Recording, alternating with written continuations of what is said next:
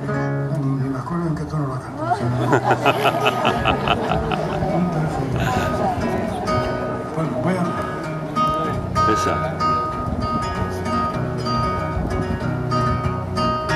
Un tejedor tenía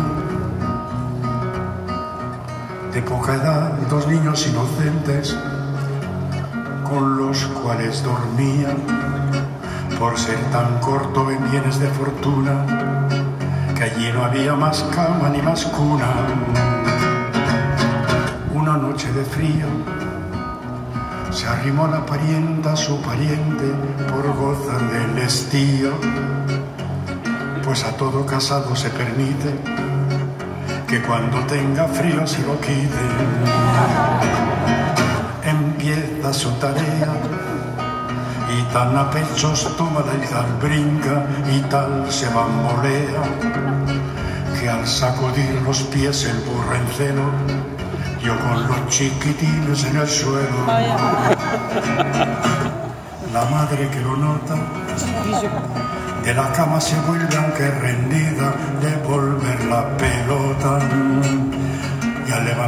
sus hijos adorados los encontró los dos descalabrados les pone balsamina y a la cama los vuelve cariñosa cada cual a su esquina diciéndoles que aquello ha sucedido porque estaba su padre algo bebido. Antes que amaneciera, sintió el amigo gana de más coles y con su compañera se entregó a los placeres reiterados sin echar cuenta en los descalabrados. El niño mayorcito, el niño mayorcito Que se encuentran. a ver, ya.